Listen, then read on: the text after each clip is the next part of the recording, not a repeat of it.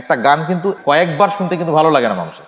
কিন্তু আমরা যে সুরা ফাতিয়া প্রতি ওয়াক্তে প্রতিবার পড়তেছি, তারপরও কিন্তু এর মধ্যে কি আমার বিরক্তি আসে না?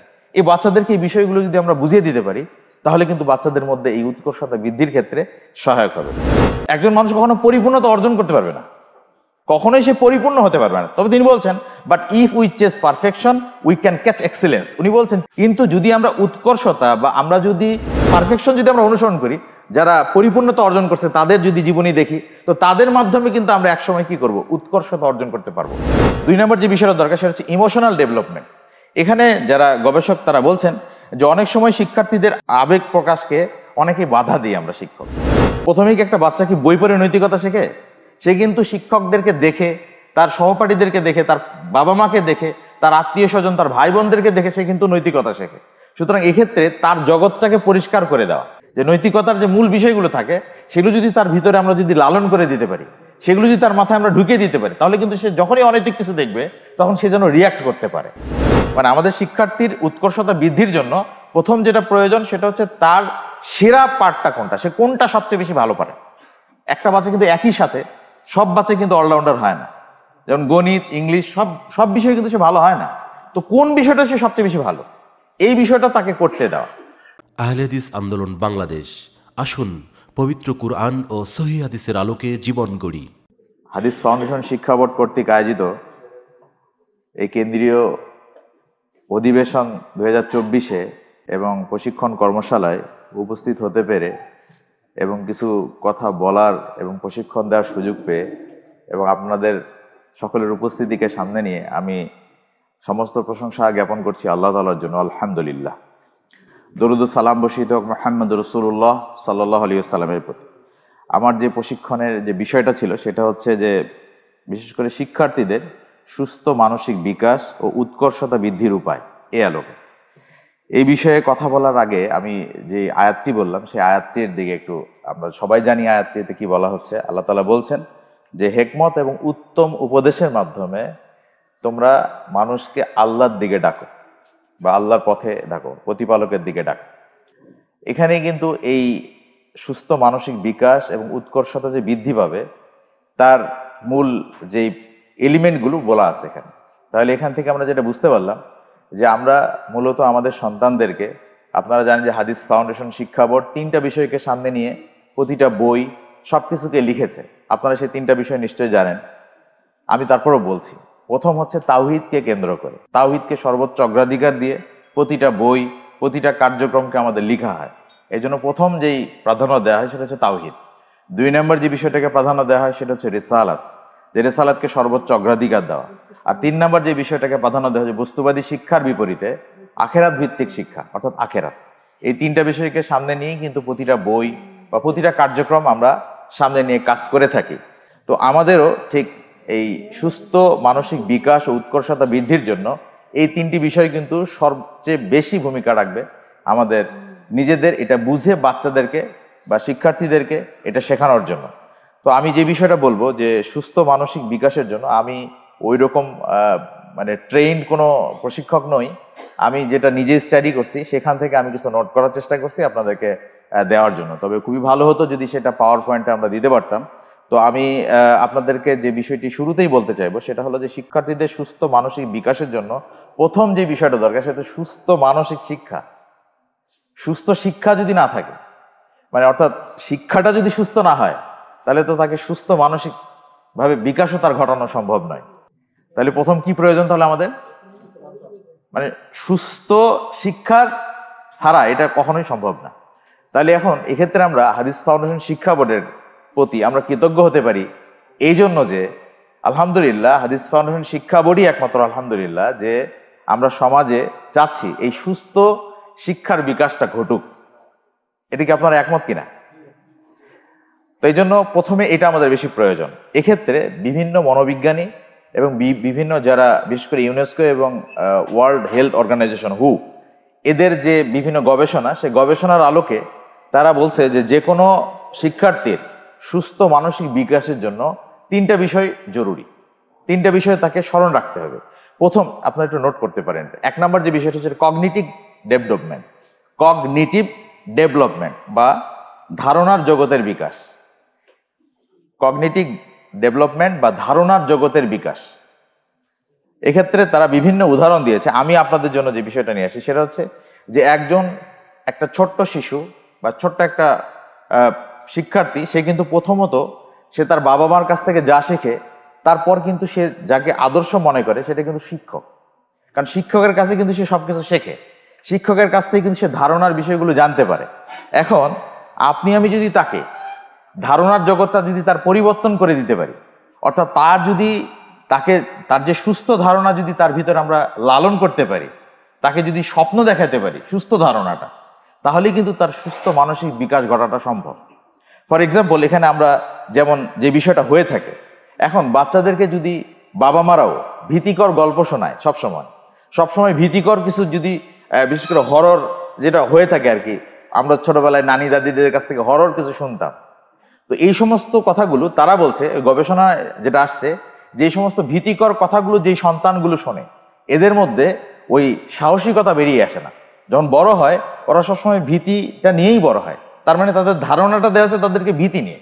এই জন্য তারা ভীতিকরই মানে ভীতিকর পরিবেশটাই শেখে। এক্ষেত্রে আমি একে, শেরে বাংলা একে ফজলুল হকের একটা কথা আমার মনে পড়ছে, যে উনি বলছেন যে যারা বিড়ালের ভয় দেখিয়ে সন্তানকে ঘুম পাড়ায়, তারা বাঘের সাথে বা সিংহের সাথে যুদ্ধ করা কীভাবে শেখাবে? বা সিংহের সাথে লড়াই করা কীভাবে শেখাবে? তো এর কথার মধ্যে কিন্তু একটা বিষয় আছে, যার মানে ছোট ছোট বাচ্চাকে যদি বিড়ালের ভয় দেখিয়ে, আমরা যদি সেই ধারণাটা তৈরি করে যে বিড়াল আসলে কিন্তু আমার খেয়ে ফেলবে। তাহলে কিন্তু এটা যেমন ওই ছোট বাচ্চার জন্য যেমন এই ভয়ের একটা কারণ হবে, ঠিক একইভাবে একটা শিক্ষার্থীর ভয়টাকে দূর করতে হবে। অর্থাৎ তার ধারণার জগতে যেন কোনো ভয় তৈরি না থাকে। সে যেন সবকিছুকে জয় করার স্বপ্ন দেখে। এটা কিন্তু একজন শিক্ষক, একটা শিক্ষার্থীর মানসিক বা সুস্থ মানসিক বিকাশের জন্য এই যে শিক্ষক হিসেবে কিন্তু আমরা এই কাজটা করতে পারি যে তার সাহসিকতার জায়গাটাকে উন্নয়ন করা। আর সবচেয়ে যেটা বেশি গুরুত্বপূর্ণ সেটা তাকে স্বপ্ন দেখানো। আজকে কিন্তু স্বপ্ন দেখানোর কাজটা আমরা নেগেটিভ মেন্টালিটির মানুষ বেশি হওয়ার কারণে দেখা যাচ্ছে যে তাকে যে স্বপ্ন দেখাবো, ইতিবাচকতা যে তাকে শেখাবো সেই জায়গাটা কিন্তু আমাদের যথেষ্ট ঘাটতি থাকে। তো এই জন্য এই বিষয়টা আমাদের প্রথম দরকার, সেটা হচ্ছে ধারণার জগৎটাকে বৃদ্ধি করা বা তার ধারণার জগতের একটা নতুন নবায়ন করা। একটা শিক্ষার্থী যেহেতু আসে, তো শিক্ষক যেন তাকে এমন এমন কিছু ধারণা দেয়, এমন এমন কিছু উৎসের কথা বলে, যে উৎস সম্পর্কে সে যেন নতুনভাবে নিজেকে বিকাশ করার, নিজেকে ডেভেলপ করার যেন স্বপ্ন দেয় এটা তারা প্রথম বলছেন গবেষণায়। দুই নম্বর, আরেকটা বিষয় হচ্ছে হতাশা, হতাশাগ্রস্ত না করা। যে কোনো বিষয়ে সে যেন হতাশ না হয়। সবসময় তাকে ইন্সপায়ার করা, বলা যে ইউ ক্যান ডু ইট তুমি অবশ্যই পারবে ইনশাল্লাহ সুতরাং এই ধরনের কথা যদি তার কাছে যায় বেশি বেশি, তাহলে কিন্তু সে নিজেকে মনে করবে যে, আমি পারব ইনশাল্লাহ কারণ আমার শিক্ষক আমাকে বলছে।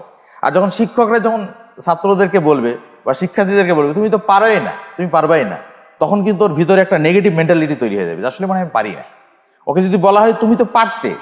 তুমি আজকে পারোনি তুমি পারবে, এ ধরনের কথা, অর্থাৎ তার প্রতি সবসময় ইতিবাচক মনোভাব থাকলে এটা তাদের জন্য বেশি সহায়ক হয়, এটা মনোবিজ্ঞানীরা মনে করছে। দুই নম্বর যে বিষয়টা, দুই নম্বর বিষয় ইমোশনাল ডেভেলপমেন্ট বা আবেগের বিকাশ। দুই নম্বর যে বিষয়টা দরকার, সেটা হচ্ছে ইমোশনাল ডেভেলপমেন্ট এখানে যারা গবেষক, তারা বলছেন যে অনেক সময় শিক্ষার্থীদের আবেশ, আবেগ প্রকাশকে অনেকে বাধা দিই আমরা শিক্ষকরা। যেমন একটা বাচ্চা যদি কান্নাকাটি করে, তো তখন অনেক সময় আমরা তুমি কি মেয়ে নাকি? তুমি কি মেয়ে বাচ্চা? যে তুমি কাঁদতেছো? তো তার মাঝে কিন্তু তার যে আবেগটা ছিল, যে সে কেন কাঁদতেছে, এটা কিন্তু অনেক সময় আমরা শোনার প্রয়োজন মনে করি না। তো এখানে গবেষণায় তারা বলছে যে যদি তার এই আবেগটা প্রকাশ যদি না ঘটে, তাহলে সে কিন্তু এই আবেগটা না প্রকাশ করার কারণে তার কিন্তু যে সুস্থ মানসিক বিকাশ হওয়ার যে সুযোগটা ছিল, সেটা কিন্তু হবে না। এটা তারা বলছে। তো এই জন্য আবেগ প্রকাশের সুযোগটা দেওয়া। এখানে আরও অনেকগুলো উদাহরণ আছে। যেমন একটা হচ্ছে যে একজন শিক্ষার্থী যত তার আবেগ প্রকাশ করতে পারবে, ততটাই সে অন্যের আবেগকে উপলব্ধি করতে পারবে। মানে সে যদি তার নিজের আবেগটা প্রকাশ না করতে পারে, সে তো অন্যের আবেগটাও রিসিভ করবে না। সে মনে করবে যে আবেগ তো প্রকাশ করাই উচিত না, করা যায় না। সুতরাং সে কিন্তু অন্যের আবেগটাও প্রকাশ করবে সুতরাং সে মানবিক মূল্যবোধ যেটা, এটা তার মধ্যে জাগ্রত হবে না। এই যে নম্বর যে বিষয়টা তারা বলছেন, সেটা হচ্ছে ইমোশনাল ডেভেলপমেন্ট বা আবেগের বিকাশ। তিন নম্বর যেটা বলছেন, এই তিনটাই মূলত বলছেন যে সুস্থ মানসিক বিকাশের জন্য সবচেয়ে সহায়ক। সেটা নিয়ে তো আমরা সবচেয়ে বেশি কাজ করি, সেটা হচ্ছে মোরাল ডেভেলপমেন্ট তিন নম্বর, সেটা হচ্ছে নৈতিক বিকাশ। এই নৈতিক বিকাশটা নিয়েও তারা বলছেন যে এই তিনটা ডেভেলপমেন্ট যদি হয়, তাহলে একজন শিক্ষার্থীর জন্য সুস্থ মানসিক বিকাশটা হওয়া সহায়ক হবে। নৈতিক বিকাশের ক্ষেত্রে তারা বলছেন যে একজন শিক্ষার্থী প্রাথমিক পর্যায়ে কিন্তু বই পড়ে নৈতিকতা শেখে না। প্রথমেই একটা বাচ্চা কি বই পড়ে নৈতিকতা শেখে? সে কিন্তু শিক্ষকদেরকে দেখে, তার সহপাঠীদেরকে দেখে, তার বাবা মাকে দেখে, তার আত্মীয় স্বজন, তার ভাই বোনদেরকে দেখে সে কিন্তু নৈতিকতা শেখে। সুতরাং এক্ষেত্রে তার জগৎটাকে পরিষ্কার করে দেওয়া, অর্থাৎ তার বিষয়ে একটা তার মানে কি বলব পজিটিভ যে নৈতিকতার যে সুনৈতিকতার যে বিষয়গুলো থাকে, যে নৈতিকতার যে মূল বিষয়গুলো থাকে, সেগুলো যদি তার ভিতরে আমরা যদি লালন করে দিতে পারি, সেগুলো যদি তার মাথায় আমরা ঢুকিয়ে দিতে পারি, তাহলে কিন্তু সে যখনই অনৈতিক কিছু দেখবে, তখন সে যেন রিয়াক্ট করতে পারে। অর্থাৎ এর মাধ্যমে কিন্তু তার একটা সুস্থ মানসিক বিকাশ ঘটবে, যেটা নিয়ে আমরা সবচেয়ে বেশি কাজ করি। এই এই কাজটাই তো আমরা বেশি করি আমাদের মাদ্রাসাগুলোতে সাধারণত। যেটা সাধারণত অন্যান্য স্কুল কলেজের চেয়েতে মাদ্রাসাগুলোতে কিন্তু এই নৈতিক বিকাশের জন্য আমরা কিন্তু বেশি বেশি বলে থাকি। সর্বদা সত্য কথা বলবে, মিথ্যা কথা বলবে না। এই সমস্ত পজিটিভ নেগেটিভ বিষয়গুলো নেগেটিভ বিষয়গুলো থেকে সতর্কতা পজিটিভ বিষয়গুলোর প্রতি আমরা যেন প্রতিপালন করে, তারা যেন লালন করে, এই বিষয়গুলো আমরা বলে থাকি।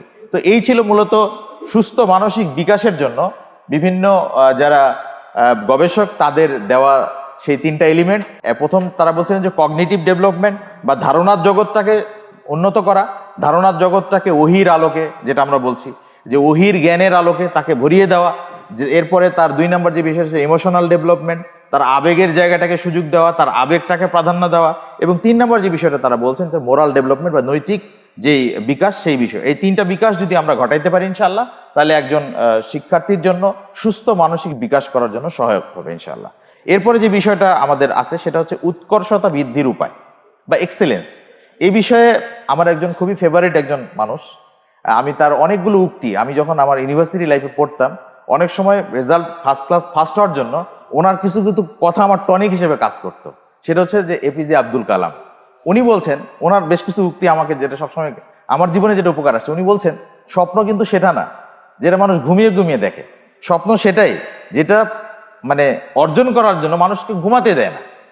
এই জন্য আমার যখনই ঘুম পাইতো পড়তে গিয়ে ঘুম পাচ্ছে, তখন আমার কথাটা আমার কানে বাজতো, যে আমার তো স্বপ্ন আছে, আমাকে ভালো কিছু করতে হবে। সো আমাকে ঘুমাইলে চলবে না।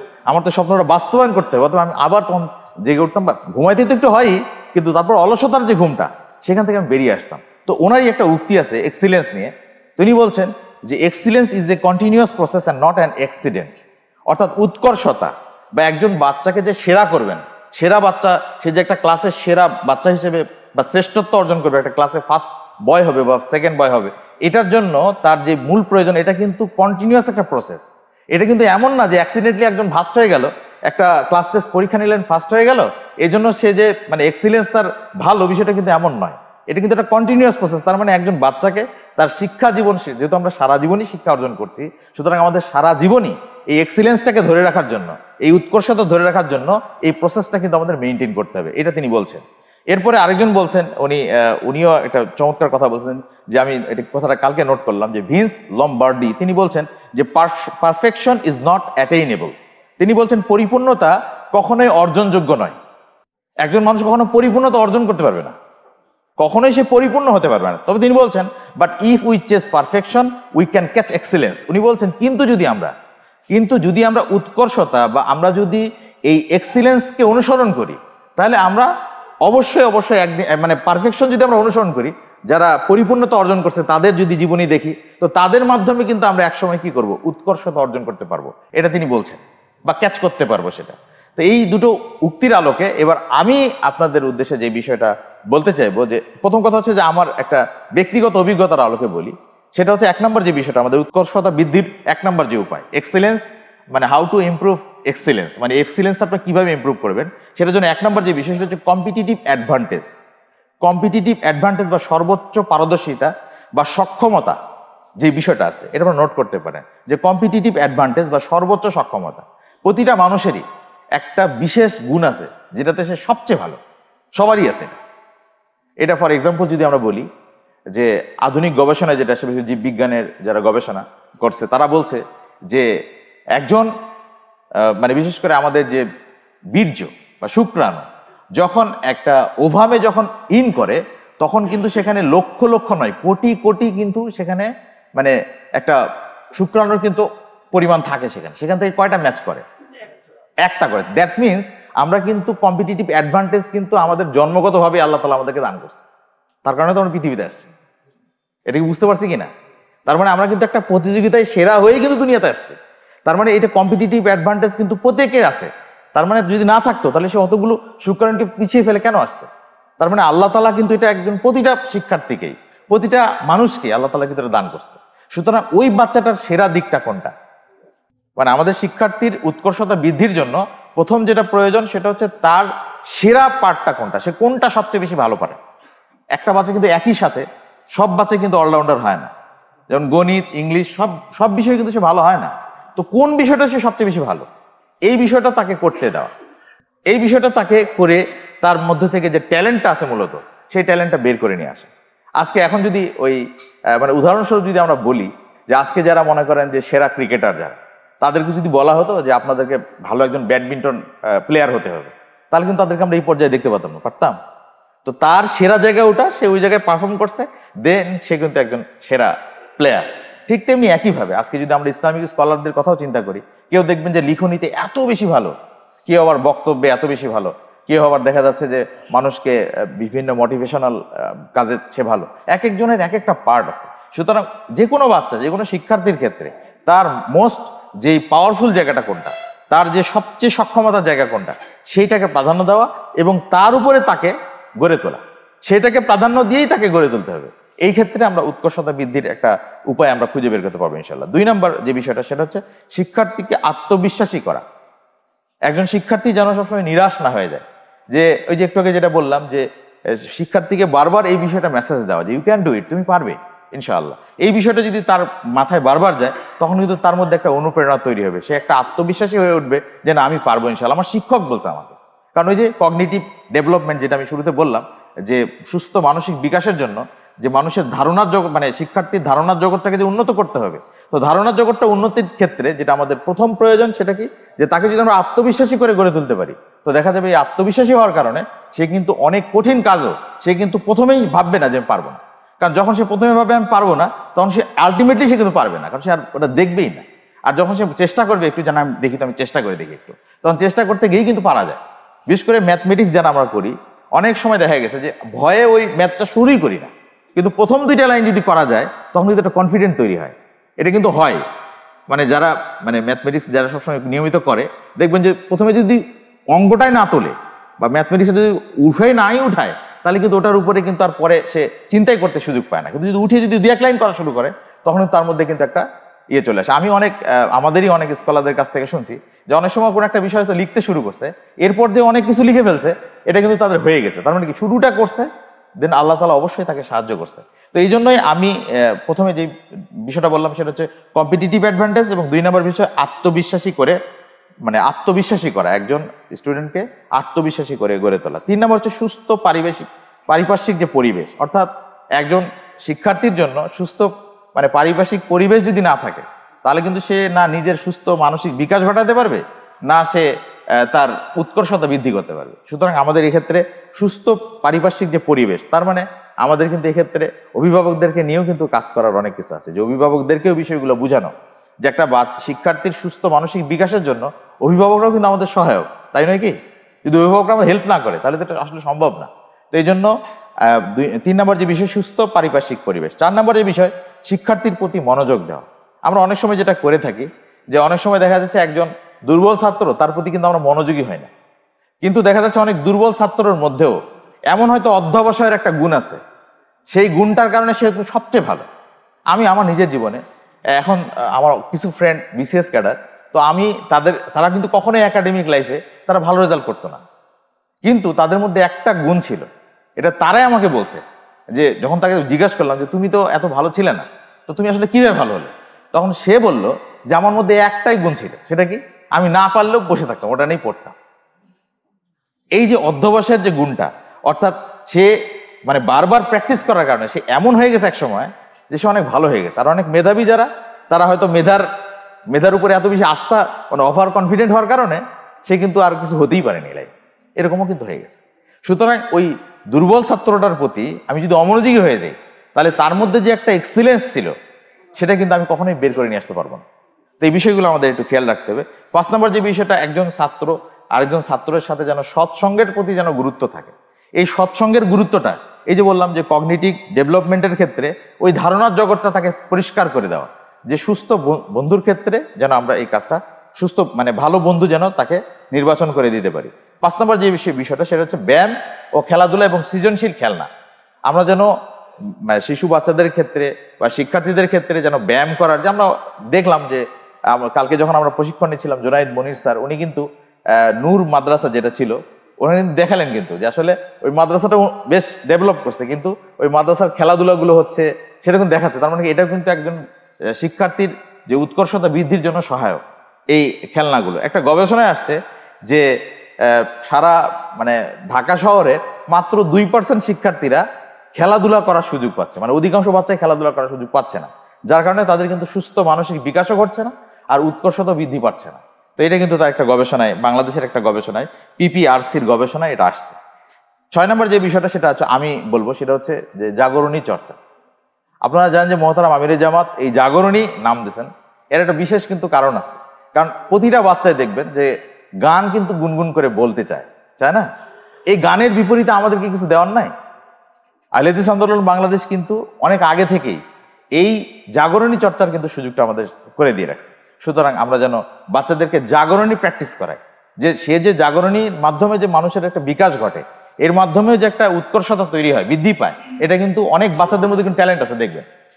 আপনি যেই যেই প্রতিষ্ঠানে এখনও পর্যন্ত জাগরণী চর্চা নাই, ওখানে শুরু করে দেখেন, দেখবেন যে দুই এক বছর পরে সেখানে এমন এমন কিছু বাচ্চার ট্যালেন্ট বেরিয়ে আসবে, সেটা এখানে সেখান থেকে পাওয়া যাবে কিন্তু। আরেকটা জাগরণী, আরেকটা পার্ট হচ্ছে যে, বিশেষ করে জাগরণীতে একটা বললাম জাগরণী, একটা হচ্ছে কোরআন তেলাওয়াত। কিছু কিছু কোরআন তেলাওয়াত, এমন মুগ্ধকর না যে শুনতেই মন চায় যে উনি আজকে সালাত আদায় করার উনি আজকে আমাদের সালাদটা পড়িয়ে দিই তাহলে আমাদের একটু ভালো লাগবে কোরআন তেলাওয়াতটা শুনতে ভালো লাগবে।